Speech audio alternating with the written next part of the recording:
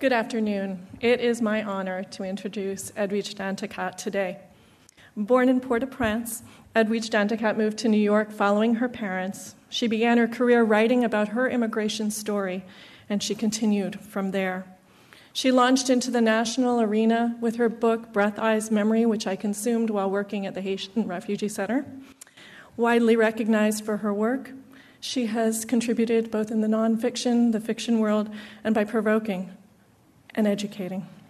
We have the good fortune of having her in our backyard, residing in Miami and choosing to share her artistry and her leadership. As I said, she uses the spoken word to educate. She advocates and she inspires. She educates the world about Haiti and the experience of the Haitian Americans. I obviously am such a fan, I can't even talk.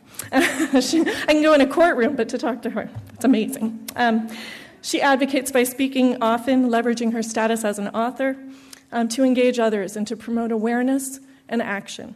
She inspires by breathing life into characters, by helping us to understand who they are, how they see the world, and how they are treated by our world.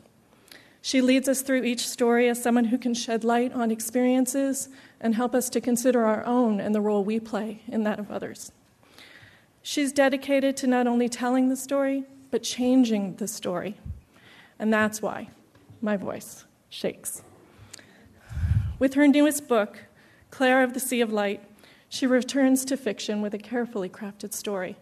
It talks about the relationship of the sea, which is so pivotal and central. But through the concepts of identity, abandonment, difficult choices, and the pathways that we choose in life.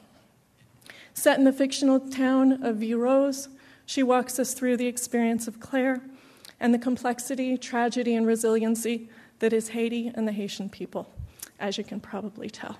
It's my pleasure to introduce Edwidge Danticat.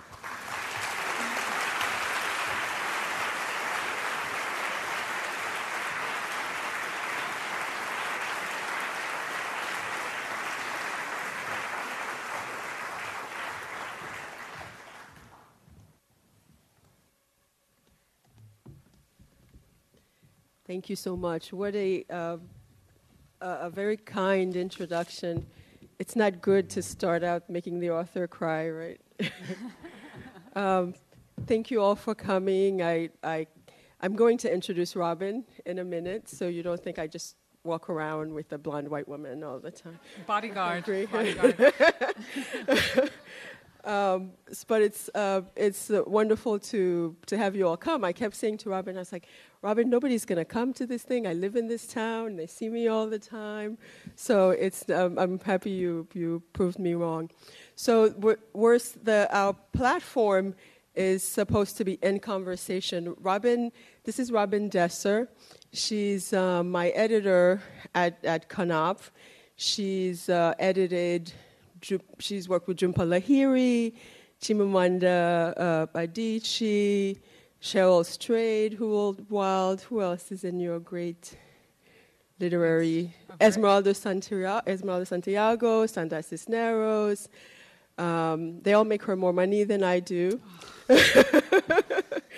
but uh, but we started. So we're it's supposed to be a conversation, and uh, so I'll just start, tell the people how we started working together. Um, I remember when uh, Breath Eyes Memory, uh, what I, I had written this book, I wrote it as my thesis at Brown. And, and, but I've been writing it when I was 18. So sometimes when people want to be cruel about it, they say, oh, it reads like a high school student wrote it. And I'm like, a high school student wrote it. so um, so I, I, started in high school, and then um, when, and when it was um, done, I sent it to to Laura Hruska, who was uh, my editor at Soho. And when it was bought at Vintage, and that, that's that was our first encounter by by by uh, Robin, who was then working at Vintage. Then the day that the that that she bought the paperback rights to the book, so Laura came to where I was working in a film production, and she says, "Edwidge, we have this this offer from this Vintage. You have to now think about a career." And so, so Robin, in that way, started uh, started my career and my thinking about uh, being a, being a writer as my career. So uh, Mitchell Kaplan had this idea that we should have a conversation. And so she will ask me things, and I will reveal deep, dark secrets. and that's how it's going to go. It's great. Well, you know, everybody is going to hold her to it. Thank you, everybody, for coming. And I also want to thank Mitchell for having me here. This is my first time at the Miami Book Fair, and I am really just overwhelmed at the energy and the spirit and the passion of the all kinds of people who are here, the diversity. It's just such a great pleasure to be here, and that it is the 30th anniversary just seems very auspicious. Um, when Edwidge and I first started working together, I think you were 22 and I and I had brown hair, and um, so you know, there's a lot of water. Speaking of water, there's a lot of water that has gone between us over the many years. But it's such an honor to be here with Edwidge. I don't think we've ever done no. anything public. We do a lot of things behind closed closed doors, wrestling, laughing, and um, just sort of having a lot of fun. It's such a you can imagine, or maybe you know, it's such an honor and privilege to work with Edwidge's work over these many books that she has written, and for us at Knopf, it's just such an honor to publish this amazing writer who, you know, as everybody here knows, um, is perhaps the preeminent writer of the Haitian diaspora, giving voice to her country and writing its history. And um, the new book, Claire of the Sea Light. You can't have favorites, and I don't think that she's written a bad book ever, but this book is so special to me, and I just love it so much. It. Um, part of the reason why is I think it has the sort of economy of a fable or a fairy tale, but it has all of the power and political importance of Edwidge's work, but that it has at its center a little girl named Claire, who goes missing one night, um, gives the book some of its emotional force. And it has that thing that I love in fiction, these sort of Aristotelian unities of time and place. And all the action takes place over a single day, and then it flashes back to the past of these many characters, and their secrets are revealed, and also hints toward the future. So it's a short, propulsive, haunting, beautiful book that she won't let me call it a novel because she says, oh, it's a novel in stories, oh, it's stories. But whatever it is, it's an uncategorizable, just brilliant, masterful book that we are so proud to be publishing. So thank you all for coming to hear us talk. And I wonder if you want to just start by talking about Claire and tell us about her name and what it means and how you found her as a character. Well, I, when I, I think I started working on um, a novel. I'd never like written a novel just from scratch except the farming of bones where i was like i'm going to start writing a novel. It's going to be about this. Things other things i've just kind of uh, tripped on. So claire i, I thought I, I started with this idea i'm going to write a novel that's like a radio show. And every episode of the of the every chapter will be an episode of the show. It'll have a hostess named louise george and so I started, and then I was watching uh, a documentary about Haitian children in Haiti and children who are, who are placed in orphanages but who are not orphans. So their parents will bring them to an orphanage and, and then the parents will visit them on holidays when they can give them something, but they turn them over to this orphanage because they, they, they can't support them. And there was a, Uh, a man I remember in this documentary who said, you know, they, they give their kids away because they, it's not, they're not like us. They're, they don't have the same attachment to their, to their children. And, and, and I was so, I felt so wounded by that because I, you know, I, I, I hadn't, I'd spent like really the early part of my life with my parents living in another, in another country working, and I knew the difficulties of that choice. And then just like that, Claire, this character came to me and almost fully in her in her you know in her fullness. And i wrote then i wrote a, a short the first part like this the first part of the book as a short story that was in haiti noir. And then slowly this town you know started ville rose which is based after uh, based after my mother where my mother grew up in Léogâne. so uh, then the town just emerged from from just this little bit of like anger at this at this man in a documentary the town is the same town that, or it has the same name as the town in Crick Crack. And mm-hmm. I just wonder if things have changed over the years. Yeah, well, actually, I, I decided to the town, when I, when I decided to do Ville Rose, I, in Breath Eyes Memory, I had some real towns and some fake towns. And the people who were from the real towns would say, you know, you say that there's a tree on this road. I have been there, I've not seen it. and, and they'll say, that's what's wrong with you diasporas, you know, you, you get everything wrong. And so I said, I'm going to invent my own town, and I can put whatever I want in it. I can put, I wanted a lighthouse in my town, and I wanted all these things. So, and my mother's name is Rose. And so I decided to name the, the town Ville Rose. So in, in Krik? Krak!, I just had a vague idea of what it was. And, and over, like when we started, when, when uh, the first draft of the book that I gave to you, that was one of the things I think also this might be interesting for people who want to be writers how this process works. So so then then you know Robin was saying I really want to see the town. I really want to see the town, and I was tempted to just send her a picture, but. Um, but so then you, you just then the town develops you know and then you add you add layers so then the town grew a lot in detail from from the mention in Creek Crack. In Krik? Krak!, it's in a story called um, 1937 the, uh, the other thing the manuscript had in the early draft was dates. Yeah. We spent a lot of time talking about dates, and, um, and then we decided let's not have any dates. And um, I think, you know, some of this had to do with the earthquake mm-hmm. in Haiti. And I wonder if you want to talk about the earthquake and its impact on you and uh, this book in particular, and why. Why did we decide to do that again? Well, I think because the, the thing was, this was going to this was going to be the first work of fiction that I was going to publish after the earthquake. And I knew that for anybody who would pick up that book, they would, you know, who would pick up this book, they would say, I wonder if it's an earthquake book. I wonder if it's after the earthquake. And I knew personally that I wasn't ready to write a fictional, a, a fictional book about the earthquake because, first of all, I, you know, I wasn't there, and I think, and, and there was, and I had written a little bit about and, and create dangerously about the people, my, my cousin and my, his son who had died, and the way that it had affected my family. And I didn't, I didn't feel like I was ready to write it um, in fiction.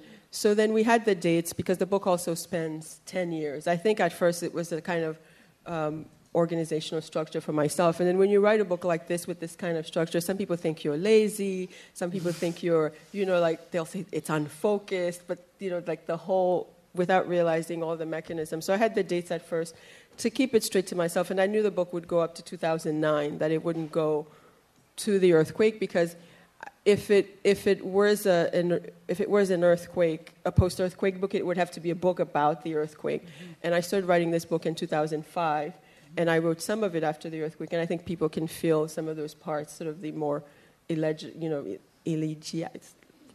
Well, when I can't say a word like that, I say I'm an, I'm an immigrant. but sort of the more uh, the parts that uh, that sort of are like about mourning, I think, are, are set there. But I, I, really, at first, I was really determined to make it clear that it was 2009, and then I think people can uh, can figure it out that it is a before and not an after. It's a book. Yeah, it's a book that time and dates. You know, it's it's kind of brilliant because it takes place, you know, as I said, over one day, but then it spans all this time and then time and the sense of time because Claire, and we should tell the story for those of you who haven't read it, Claire uh, goes missing. And, you know, I'll ask you why that is, but that the fact that there's a sort of ticking clock. Uh, Claire decides to run away for a reason. I'm going to ask Edwidge to explain, but she runs away, and then there's this ticking clock of is she going to be found? And you know it's going to be the end of the day, and so your, you know, your, your heart is in your throat over this missing child. And um, so it winds up being something that is a really brilliant way of building suspense in a book. But will you explain what happened, you know, in terms of Claire? And what happens with her father. Um, and some, some ways in which I thought of the book was sort of a combination of The Old Man and the Sea and Our Town, because it takes place in a fishing village. This is what publishers do. This book is unique, but it's exactly like these other books. we have this very bad disease. But, um, but, but so explain, you know, what happens with Claire and why she runs away. Well, Claire's Claire's father, Nozias, decides. Claire's mother dies in childbirth, so her father decides that he is not able to take care of her because also his work as a fisherman there's less and less possibilities for him to make a living. So he decides he's going to give her to a well-off woman in town madame gael whose own daughter had uh, had died tragically and she had also lost her husband. So he decided he's going to place his daughter with her so she can have a better life and then um, claire he spends practically her whole life doing that. And he, each year on her birthday, he tries again. And then um, on her seventh birthday, Madame Gaëlle finally says yes. And then Claire realizes that she'll be separated from her fathers, and so she, she runs away. But earlier in the day, there had been an, an incident at sea that makes you worry where she might have, where she might have, uh, have gone. But we spent a very, for me, I think Claire, uh, a character like that becomes like your child because um, Claire was almost exactly the same age as my as my oldest, who's on the cover. and um, and so it was really like I mean I think all acts of writing is about what if like what if I had to make this choice? What if I had to be in the position of this person? And then it was just even closer. So we had I had a very hard time like Robin kept saying tell me what happened. like where does she go and you, where does she go and and um, and I really had a hard time deciding that. I think part of it because I was very much emotionally invested for my own reasons because I I not you know I was in an orphanage, but I grew up and with my aunt and uncle in a house with a lot of children like me whose parents were abroad and and I think it was just like this kind of cycle where I was thinking what it was like for me as a as being this child and what it might be like for me as a parent to have to make that decision, which I think is a very underestimated decision for people in the developing world. And it's so that these broad judgments are made about it, like, oh, they do this to their, you know, without understanding the difficulty of that layer. I think it's the, I think it's the most, I mean, it, it's, it's just probably one of the hardest choices a parent could have to make, but it's underestimated often for, for what it's like for poor people to have to make that decision, to have so little control over your fate and the faith of your child that you you cannot even you're not even able to keep them with you. Yeah. We were really happy when the very fierce literary critic from the New York Times, Michiko Kakutani, gave the book a rave review. And, um, you know, of course, in, in Brother, I'm Dying, you write about this, your sense of abandonment when your father, first your father left, and then your mom when you were a little girl. And um, so Michiko Kakutani called the book Haunting, and then she said, in Danticat's own story and in this novel story of Claire, love endures in the face of death and departure and disappointment. And, um, you know, it made me want to ask you sort of fiction is a way of, you know, it's cathartic or a way of restoring the truth, or sort of how sort of balancing this and how personal this book was for you in that respect? Well, I think you know fiction is in some ways a way of of exercising your one's demons at time, and it's um, it's you know there's a in that movie Daughters of there's a movie Daughters of the Dust in which there's a woman Yellow Mary uh, who says you know I put I, I wish I could put all my pains in one box and all my memories in one box and then visit them at will. You know, we don't often get that that choice, that that that privilege. But it was it's a way of just like if you're afraid of something, and um, and the, the, that beautiful introduction, like she said, it's like you you can write change into being, right? Like in in life, we have so little control about the situations we find ourselves in, like Nozias with his with his daughter and and and our fates. I think I think also the, the poorer people are, the sort of less control you have over your fate. But in um, in fiction, you can you can really go through all these scenarios and then decide how they end. You know, and and, and I think it's a way of it's a way of, of dealing with the with the personal. I mean, I think it's it's a very I wouldn't say it's just it's just therapy, but sometimes you're working through things that you're not even aware of and sometimes do you remember when we had that this conversation at, at some point where I, I was I said oh my gosh Robin this a friend of mine had read the book, for and the fir- that was the first time somebody had said, "It said they wish this book is about your father." Yeah. And I said, "No, that other book was about my father, brother. I'm dying." and then they said, "You know, this is about your father. You've written for yourself a childhood with your father." And so, and I had no, you know, I hadn't even, I hadn't thought of it, of the book that way. It's funny when you're working on a book with someone, you know, sometimes after it comes out, you sort of see, okay, here's what people say about it, here's what readers say about it, here's what people bring to it. But, you know, when you're in the middle of it, sometimes, you know, it's you're working on instinct as well as, you know, thinking about structure, time, and all of these things, sentences. But then sometimes you kind of realize, hang on, wait a second. You know, and then this thing that you were saying about the radio, so many things happen because of something that somebody says on the radio or um, it's something that happens at the radio station, somebody is killed, and you know, it was only later that you told me this thing about the radio and what it meant, and I didn't know that. And then suddenly you sort of see, oh, maybe I should have written about this in the copy or something. But you know, that these, these threads work their way through fiction as it's being written, and it be, it's just such a incredible experience to, to see that form over drafts that happen. It's, it's wonderful. You know, um, the. Um, other thing is, I wanted to ask you about your kids and uh, who are Are they, are they here? both? Have they bailed? There they are. There they are.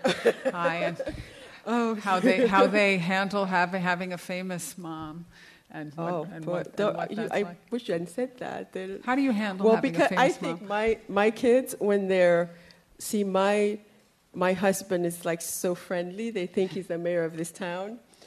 So so they'll say like they'll say when we go to Publix with Papa, it takes so long to get through the aisle. so and and I'm I'm the one like dodging people. So they he he's famous. I'm- He's your famous. Papa's famous. Papa's famous. Do you think that ha- they think that having kids? I mean, some people, writers, you could see uh, that that sometimes people's writing changes when they have kids. They have to think of their own time so differently and how you are balancing that with writing. But also, if you feel that anything changed in your writing and how you're writing, what you're writing about after your kids are born or now that they're growing up. You know, if it has changed anything or not.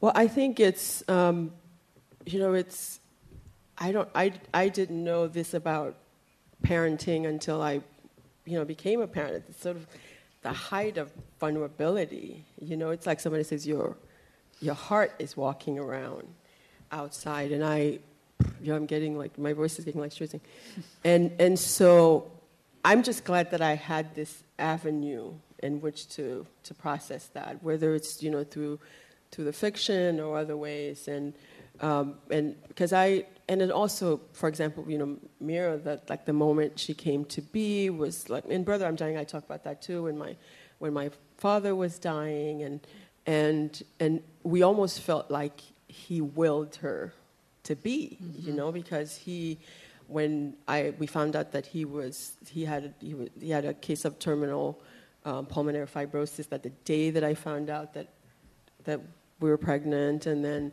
and so through the whole thing, my father, you know, was like, I'm, I want I'm going to stick around to meet the firstborn of my firstborn. And so, and then I, I feel like I would be crazy if I didn't have a book in which to have worked that out, like with Brother I'm Dying. So when people talk about, sometimes they talk in a very dismissive way about the therapeutic nature of the book. I mean, I think it's not so much the book. I think for me it was the therapeutic nature of the process, and um, and and so working to that, and then coming into just like having a space in which to explore these like all other chambers of my heart that it that I've sort of um, grown through this process, and I and I think also, I mean, so through this book, I think I was better able to understand Claire's vulnerability. I mean, I think not that I couldn't have perhaps imagined it, but I think, I think watching children every day and the sort of their little joys and their little hurts, I think all of that was able to to contribute to it. And I know that maybe I see this with Breath Eyes Memory, like when you open a book. And sometimes you will look at a line that has nothing to do with what's actually happened in the book, but it brings you back to certain moments where you can imagine sort of the life parallels of hmm. of that moment in the book. And certainly, I feel like this book for me and this is monumental in that way in terms of you know coming into motherhood and just trying to to process that through life, through through mm. through the work. So it's not necessarily less exposed or vulnerable for you to write fiction than nonfiction. No, I think I mean it's the same because you. I think because the, from the person from which it's coming, you sort of know the source. I think in terms of how pe- what people are reading, uh, because of course you, you know, it's not like you're want to tell every single thing about yourself. I, I, think we do live in that age where people tell a lot about themselves. But um, when you write it through the fiction in a way, it's almost coded. So then you could, you know exactly what's going on in a certain point, but the reader also is getting mm-hmm. um, something different out of it. Mm-hmm. You want to tell me, or I don't. I don't have to listen. You want to tell them what you're working on now, and I won't listen. Or um, well, I'm working on. I I got the Laura Hruska, who's passed away, who uh, did Breath Eyes Memory with me, was my editor for Breath Eyes Memory. She uh, she said she gave me I think was a really great advice. And it, for a first book, everything is new. You don't know. I mean, it's in a way it's beautiful because you don't know about bad reviews. You don't know about. You're just like. You never heard of Michiko Kakutani, yeah, example. like you know, and and so maybe not now for people, but when I was like all those many years ago when I was starting out, I was just so happy that I had a book that was that was going to be published, and you're just you're just blissful. And so, and, and that bliss, you know, after Laura told me I should think about a career, part of thinking about a career, she said, was, well, you want to, every time you're, when you're done, you want to get something going so that by the time the book is published, you'll have something you're working on. So if it's brutally, like, you know, if people hate it, critics hate it, and then at least you won't have to pick yourself up the floor and, you know, in your drunken stupor, grab a pen, and, you know, so you already have something going, right? And if, and also, I mean, that's the thing that people aren't aware of. The other, I don't know if it just works for me that way, but I've seen it with a lot of friends and and people who it's your first book, everybody loves it, and you have this great thing, and that can be just as crippling for young writers as the other thing. You know, where you're just like, oh my God, what am I going to do? What and and I've seen people endure very, you know, like Jhumpa, who wins a Pulitzer for her first book. I mean, she's done a, and she was very good at just like continuing. But so that advice of just working on something so all that to say, yes, I started working. I'm working on a young adult book, not with Robin. I'm cheating on Robin. Yeah, she does that. when you um, have a CV like this, which ranges, you know, if you look her up on Wikipedia, you look at the range of things that she's doing. This, I mean, I have to find this out on Wikipedia. All well, think of, you know, imagine my mother. my mother's always like, "What you didn't? Why didn't you tell me this?"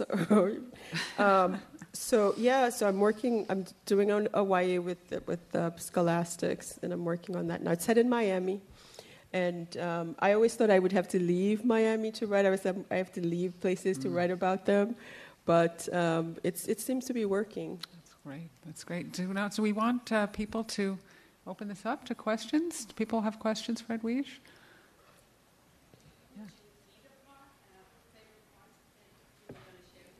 Oh, okay the reading. We, we, we programmed her to do that.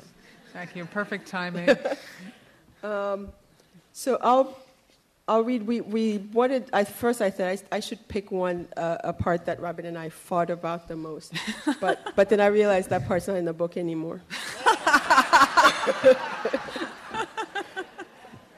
um,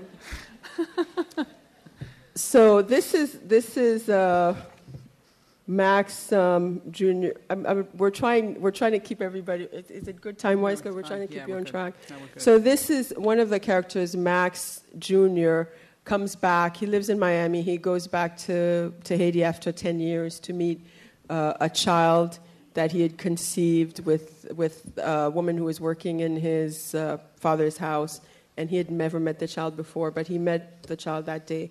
And the sea is a big character in the book, so Max, it's Max um, Junior at sea. Now, as he walked fully clothed to the water, Max Jr. thought of his father's version of a Cornish folk tale, one the old man had told him when he was little. In the story, a boy is lured into the woods by music. The deeper the boy walks into the woods, the denser the woods become, and the more beautiful the music. The boy follows this music until he gets so lost that he no longer knows where he is. He becomes so scared that he wants to return home, but he also wants to follow the music to see where it leads. After he walks so far that the woods become impassable, he begins to cry for help, and that's when a spirit emerges and makes a path for him. The path leads to the sea. When he wakes up, the boy finds himself back home, safely in his own bed, with his head full of music and mermaids and crystal palaces under the sea. The spirit in the woods saved this boy, his father said, because the spirit wanted the boy to remain good and innocent, and that innocent and goodness was as precious as the dreams that she had placed in his head. Max Jr. now slipped into the water, feeling the cool waves rise and fall around him. And the sea, he thought of that music. He also thought of flowers and birds. He thought of the birdhouses he and his father had built together when he was a boy. He thought of the orchids and roses in his father's garden. He thought of how the roses had been pummeled the night of the hailstorm. He thought of his mother and her favorite flowers. She would tie a bouquet of yellow jasmine to the bell on the front of her bicycle, then ride through the town. You are who you love, she told him. You try to mend what you have torn, but remember that love is like kerosene. The more you have, the more you burn. He imagined the drawing now melting, coming apart in his pen pocket as he walked to the sea a drawing made by his son, whom he had just met, his son, whom he might never see again. Would meeting him today have meant anything at all to his son? The worst possible case of unrequited love, his father had told him, was feeling rejected by a parent. Was the second worst being rejected by your child? People like to say of the sea that la mer pa cras, the sea does not hide dirt, it does not keep secrets. The sea was both hostile and docile, the ultimate trickster. It was as large as it was small, as long as you could claim a portion of it for yourself. You could scatter both ashes and flowers in it. You could take as much from it, but it could take back too. You could make love in it, or you could surrender to it. And oddly enough, surrendering at sea felt somewhat like surrendering on land, taking a deep breath and simply letting go. You could just as easily lie in the sea as you might in the woods and simply forever fall asleep.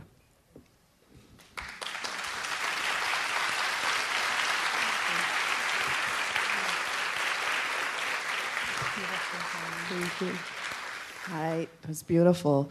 Um, as an editor and a writer, what feedback do you think you've received that sort of stimulated you to take the writing to the next level from your editor? And for the editor, what do you think you get feedback you give to authors that you get the most from? Well, I think um, Robin is one of those rare editors because I, I have a lot of writer friends who say, you know, I'm not edited, and some of them hire freelance editors um, and so, um, you know, Fedo, my husband, makes a, a, joke about that I have two, that I have two Robin dolls. I have one that I stick pins into, and one that I dance with. so I, I think all writers have the have this fantasy of like I'm going to submit my book to my editor and she's going to say, This is the best thing I've ever read. Don't touch a comma, you know? And so and then so Robin will say, you know, it's it's it's great, and then she'll write you ten or twenty pages of notes. But I think it's always the the essence of your advice is always dig deeper, D- like dig deeper, and and so and and I think it's that's that's been the, the most important thing. Like, go deeper. Like, mm-hmm.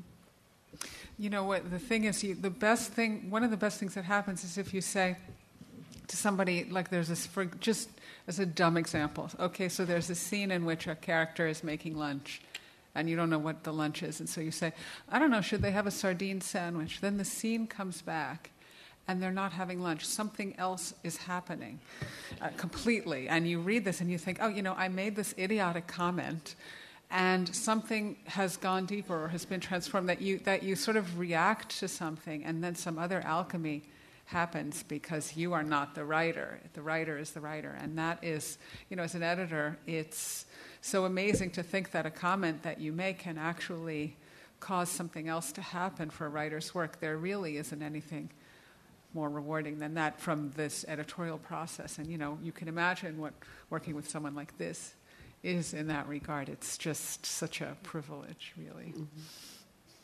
Well, Edwidge, I want to thank you again. I, I, read your book on a seaside town on the beach for two days in in um, uh, in Haiti. So it was absolutely delicious to just smell the sea salt and read uh, about a village by the sea. Um, mm-hmm. I, I want to thank you. Recently, I went to uh, the opening of a, of a school or part of a school in Haiti, and the person who was thanking the donor said, Thank you so much for showing these children that somebody loves them. And of course, we were all outraged. And, and I really want to thank you. And I'm always getting teary eyed for describing in such achingly beautiful details how poor people, poor parents in Haiti love their children and how fathers love their children. Our, our men have been demonized in a way to say that they're evil, they're the white beaters, etc., etc. And, and I really thank you for showing this complexity that, that, that makes up who we are. Um, you've mm-hmm. also talked about, describe sort of this class dynamics in the village where, you know, you, you have, you know, the upper classes, it's a village where everyone knows their place, but still there's this sort of interaction between, you know, between the, the, the, the stratas. Um, is this something that you would say is typical, or is this something that you've created? Is this a set of relationships that you've created for your village? Well, I think you know there was like even the my my grandmother, my mother's mother, who her house still stands in this part of Léogâne. So my grandmother, we were not rich by any means, but my mother's mother was um, a Napoleon. That was her last name. And the place where they lived was, was called Cité Napoleon. So when we, we, we didn't really always like going to Grandma Grace's house because everything, there was like, there was like the lace curtain and everything, and we would sit there and and the only fun thing was like then afterwards, like a very formal type of lunch, you would go to to the beach where someone would almost always drown. It was like always the thing. But um, but it was like she was like she her people looked down on my father's people. So it was like this whole like it wasn't like if there was the, the super rich people at the top, but even there were all these these layers that I tried to capture the dynamics in that town. So so she could look down on my father's people, but if she went to the fabric shop, then that woman was looking down at her. Mm-hmm. But but then there was there was there were other ways that these people sometimes they were all related somehow but someone had gone off and married someone else. So I wanted to, to capture that element of the dynamics. And of course, where everybody, every, you know, where, there, where class disappears is in the dark. So, and, and with all like the, sort of like the, the, the, uh, these romantic dalliances and sometimes these violent interactions where, uh, where a girl who, who, who, who is or works in someone's house becomes like the, the man of the house's first sexual experience. Like all these things, I wanted mm-hmm. to. Um, some of it, I you know, I, I, I think I borrowed from actual things, but you let the imagination also. But, but thank you typical, for what you said. It's not typical of Haitian society. The sort of mixing of the of the classes. Would the mixing. The, the sort of almost fluid, you know, sort of. I, I don't want to say too much, but there, there, there are parts where you know, there's this sort of person who interacts with someone who's clearly not in her station in life. And well, so I wouldn't. Be, I I listen in Cité Napoleon. They did, and people, and you know, I think I wouldn't say that it never. One wouldn't say it never happens. And the thing that that there are people who marry beyond. I mean, it doesn't happen as a common thing, but there are places where where it does happen, where people break the sort of the, the their different rules, and especially in a in a in a small place like that.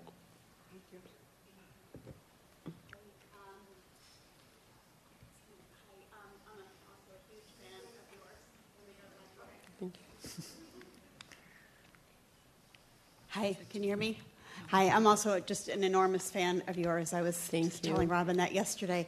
Um, question You have such gorgeous prose, and it's one of the things that I've long admired about your work. And your work, when I read it, your writing is so rhythmic. And I wondered from a craft perspective, or just, you know, what you do to put yourself in that space where you can write with so much rhythm and soul? And it, it is sort of fable like on the page every time I read you. Oh, thank you. I mean, I have to. I I feel like I have to fall in love with the story myself, and um, even sort of in the construction of the town, just as soon as I could see it, as soon as I was, I, as soon as I dug really deep, and I, I, it was very clear to me visually that I was, I felt like I was walking those streets, and I was, you know, I was, I knew those people. So the the hard part is just to just then get the mechanics down in terms of where you place yourself in the story, and then the and then you're you're just there, you're flowing uh, through it, and it's but it but this is like also with Robert, it's a lot of editing. Like I saw, I was watching the live broadcast of the National Book Awards, Rue Freeman, and you guys were there, but um, and Robin was there, but Maya Angelou there says, uh, what did she said? Easy reading is damn hard writing. and and there's a lot of revision to to get to that and the revision is a way of peeling layers of of you also getting to know the characters better getting to know their nuances so that you can then go past the mechanics of just like where does everybody go what do they have for lunch to to actually then really delving into into the language and and and layering and adding on top of it